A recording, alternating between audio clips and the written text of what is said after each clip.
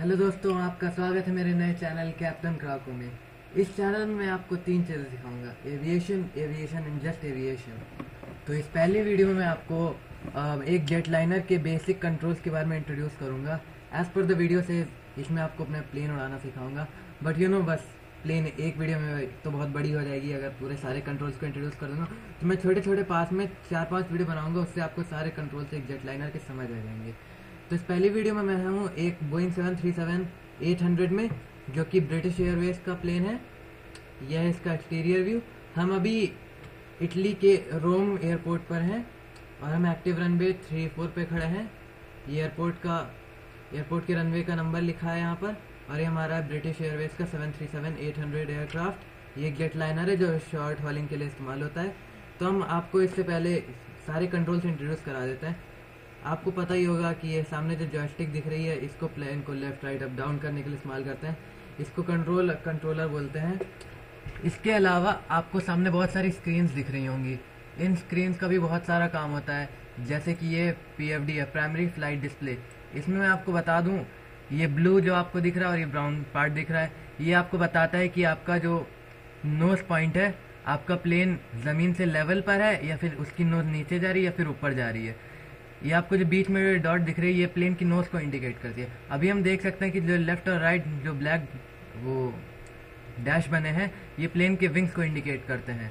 और जो ten ten लिखा है, ये डिग्रीज है। मतलब टेन डिग्री एलिवेशन ऊपर की तरफ़ या टेन डिग्री एलिवेशन डिप्रेशन नीचे की तरफ़। तो अभी हमारा प्लेन लेवल पर है, क्योंकि हम देख सकते हैं पहला, दूसरा और ये नोज़ तीनों लेवल पर है ज़मीन से। ये लेफ़्ट साइड में आप देख सकते हैं कि ये ट्रिपल ज़ीरो लिखा है अभी प्लेन की स्पीड को इंडिकेट करता है। प्लेन की स्पीड किलोमीटर या फिर माइल्स में नहीं नापी जाती, इसको नॉट में नापा जाता है। ये अलग एक क्वांटिटी है नॉटिकल माइल्स इसके बारे में आपको बता दूँगा बाद में। और ये हमारा ज़मीन से एलिवेशन बता रहा है फीट्स में। तो अभी जिस एयरपोर्ट पे हम खड़े हैं सी लेवल से उसका इंक्लिनेशन 20 फीट पर है। तो ये आपको दिखा रहा है। ये जो ब्राउन डैश देख रहे हैं, ये ज़मीन को इंडिकेट करता है। जब लैंडिंग का टाइम होता है तो ये डैश आपको ब्लिंक करने लगता है। इससे समझ आता है कि जब प्लान लैंड कर रहा है तो ज़मीन कितने पास आ गई है। ये तो इस पूरे को बोलते हैं पीएफडी और ये आपको छोटा सा वो प्रोट्रैक्टर टाइप दिख रहा है। ये आपको हेडिंग बताता है रेडार की। इसके लिए अलग से भी आपको समझा दूँगा मैं। हाँ तो ये दूसरा वाला है हेडिंग इंडिकेटर ये आप देख सकते हैं, आप जब ऑटो पायलट यूज़ करेंगे, आपको जिस हेडिंग में जाना है, जैसे आपको एटीसी कहता है कि टेन डिग्री की तरह टेन डिग्री हेडिंग पे फ्लाई करिए तो आप अपने ऑटो पायलट से इसे लगा सकते हैं। फ़िलहाल मैं इस वाइट डॉट से आपको बता देता हूँ कि हमारा प्लेन अभी 341 डिग्री रडार एक्सिस पर खड़ा है। मतलब ये 341 डिग्री पर इसकी नोज़ा अगर हम इसे आगे बढ़ाएँगे तो इसी डायरेक्शन में आगे बढ़ेगा। बिकॉज़ प्लेन में ईस्ट वेस्ट नॉर्थ साउथ तो समझ आता नहीं है तो फिर एक्यूरेट एक्यूरेट डायरेक्शन के लिए हम डिग्रीज का इस्तेमाल करते हैं। और हेडिंग इंडिकेटर के अलावा ये इंजन कंट्रोल्स हैं। तीस बाकी? मतलब अभी ये जो आप 24 देख रहे हैं फुट 24 24 लिखा है, ये इंजन के आरपीएम को बता रहा है। मतलब अभी इंजन 24 परसेंट थ्रॉटल पे काम कर रहे हैं आइडलिंग है इनकी। इनसे कम करेंगे तो इंजन क्लोज हो जाता है। और जब हम टेक ऑफ़ के लिए इंजन की स्पीड बढ़ाते हैं, इंजन का आरपीएम बढ़ाते हैं तो ये लेवल्स ऊपर चले जाते हैं और 101 परसेंट तक चले जाते हैं, जब इंजन को फुल पावर मिलता है और इससे रेड लाइट से इंडिकेट करता है। नीचे ए बता रहा है आरपीएम पर मिनट अभी इंजन कितना थ्रस्ट पैदा कर रहा है?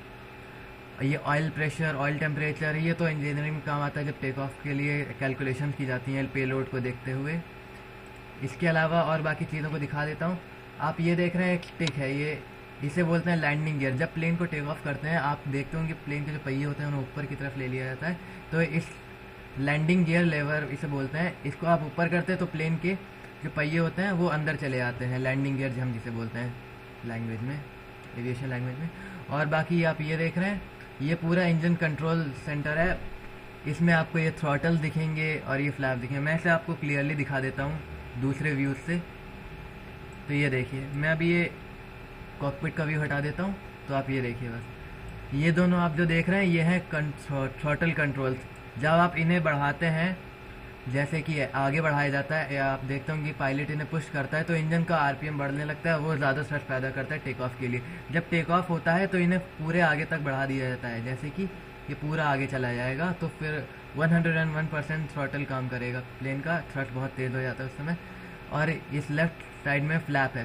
फ्लैप विंग्स की एक्सटेंशंस को बोला जाता है। जब प्लेन की स्पीड बहुत कम होती है तो उसे स्टॉल करने से बचाने के लिए फ्लैप्स को एक्सटेंड कर दिया दिया जाता है, ताकि कम स्पीड में भी प्लेन गिरे ना और वो स्टेबल मेंटेन रहे।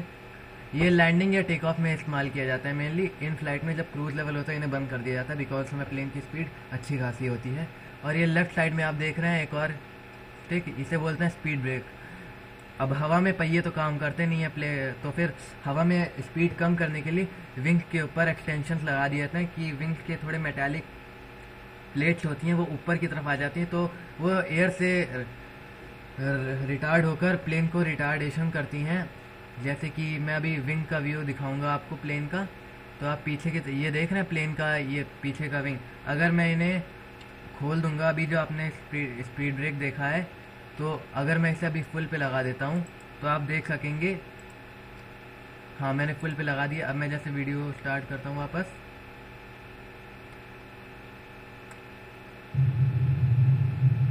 ये देखिए।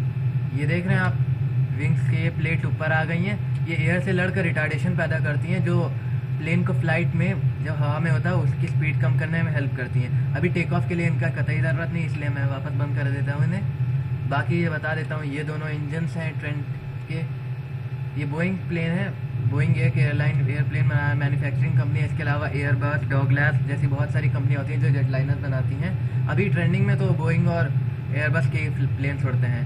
और मैं बता देता हूँ, ये जी जी जी डी ओ जी एच लिखा है, ये प्लेन की फ़्लाइट नंबर इंडिकेट करता है ब्रिटिश एयरवेज का एयरक्राफ्ट है और ये तीन लैंडिंग गियर है इसमें। वापस कॉकेट में आते हैं।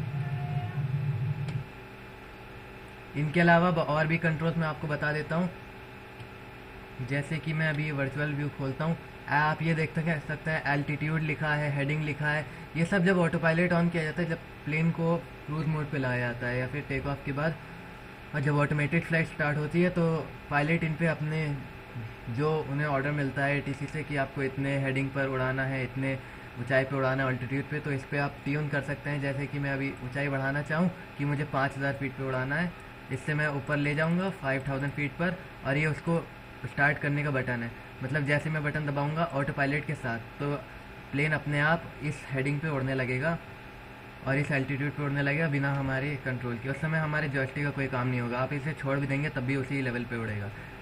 इसके अलावा ये नेविगेशन जीपीएस जब आपको ट्यून करना होता है, आपको जैसे लखनऊ दिल्ली जाता है तो जीपीएस होता है, ये होता है प्लेन का जीपीएस इससे आपको देखना ग्रीन स्टेप या रनवेज इंडिकेट करती हैं। इससे आप, वो वे पॉइंट देखते हैं, किस रूट के थ्रू आपको दिल्ली जाना है, और इसी को फॉलो करते हैं, इसे नेविगेशन बोलते हैं। और ये रेडियो स्टैक है जो आपका को पायलट यूज़ करता है एटीसी से कॉन्टैक्ट करने के लिए। इसका तो कॉम्प्लेक्स वर्किंग है, इसे हम बाद में देखेंगे। तो ये मेन हो गई हैं जो टेक ऑफ़ के लिए रिक्वायरमेंट होती है, मैं आपको बता देता हूँ। जब प्लेन को टेक ऑफ़ करना होता है रनवे से पहले हेडिंग इंक्लाइन करनी जाती है, ताकि जब प्लेन स्पीड पकड़े टेक ऑफ़ के लिए तो प्लेन रनवे से बाहर ना जाए। इसलिए रनवे की जो हेडिंग होती है प्लेन को भी उसी हेडिंग में बराबर आना पड़ता है। अभी मैं आपको बाहर का भी दिखाऊँगा तो आप टेल से कंपेयर करिए। बाहर से देख रहे हैं आपकी जो प्लेन का टेल विंग है, वो एकदम रनवे के सीध में है। मतलब जब प्लेन आगे बढ़ेगा, वो दाएँ बाएँ जाने का कोई खतरा नहीं है। तो हम ये कंक्लूड कर सकते हैं कि 341 डिग्री है रनवे हेडिंग जब हम टेक ऑफ़ करेंगे, इसी हेडिंग पे उड़ेंगे फ़िलहाल।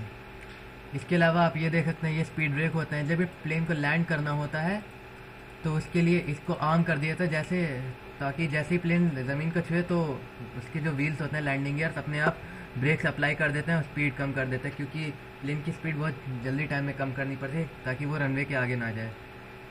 तो ये हो गया कोर्स मेंटेन तो ज़रूरत नहीं है अभी। तो ये मेन कंट्रोल्स मैंने आपको बता दिए हैं। तो चलिए मैं आपको छोटा सा टेक ऑफ़ का बता देता हूँ कि अभी हमारा इंजन ऑलरेडी खुला है। मैंने गेम पॉज कर ली इसलिए आपको आवाज़ नहीं आ रही, ताकि मेरी आवाज़ आपको आ जाए। इसके अलावा मैं आपको अब बता दूँ फ्लैप्स का क्या काम होता है टेक ऑफ़ के टाइम जब हमें टेक ऑफ़ करना होता है, हमारे छोटा एयरक्राफ्ट है तो हम इसको, इसके जो फ्लैप्स हैं, हम फाइव डिग्री पे सेट करेंगे, ताकि जब मुझे पता है कि जब ये एयरक्राफ्ट रनवे की एंड तक पहुँच जाएगा स्पीड पकड़ते हुए, इसकी स्पीड 180 के ऊपर नहीं जा सकती है एक्सेलरेशन करते हुए। और अगर हम बिना फ्लैप्स के टेक ऑफ़ करेंगे तो प्लेन को लिफ्ट नहीं मिलेगी बराबर तो वो रनवे के आगे चला चलाएगा और वो उठ नहीं पाएगा हवा में। तो टेक ऑफ़ पॉसिबल नहीं होगा, इसका क्रैश का बहुत खतरा होता है। ऐसे बहुत क्रैश हो चुके हैं, जबकि पायलट की लापरवाही से उन्होंने फ्लैप्स नहीं खोले थे और वो रनवे के आगे चला जाके क्रैश हो गया। तो टेक ऑफ़ से पहले हमें फ्लैप्स फाइव डिग्री पे सेट कर देने हैं। जब फाइव डिग्री पे सेट कर देंगे आप